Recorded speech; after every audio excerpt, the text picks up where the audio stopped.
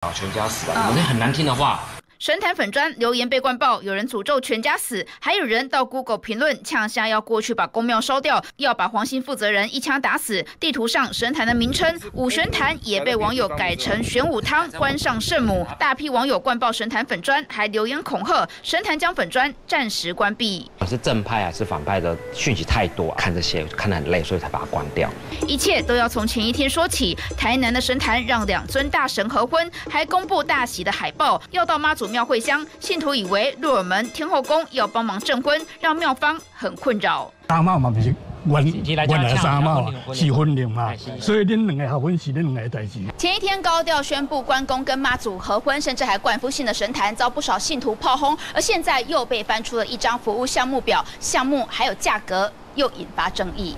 就是这张海报让网友一堆问号。神坛处理进车还分新车跟事故车不同收费，还有夜间卡因急诊基本费六百元，大人小孩化劫煞还有轻中重之分，价格也不同。通灵则要两万元。该一般的话就是去庙里求个平安符，然后就挂车上这样。是事故车的话，可能就是消灾解厄。收费金额其实蛮高的，而且你也不保证它是不是就是心诚则灵。如果上面有一些我们看不到的不好的磁场，我们要用更多的这个材料去做这件净化的事情。有价目表其实也能够避免纠纷，只是这间神坛前一天还在粉砖说神明想做的事不需酸民键盘手干涉，请大家勿造口业。但因为神明的合婚会相事件，粉砖被恐吓骂到关闭也是始料未及。东森新闻吴国珍、黄小琪在台南的采访报。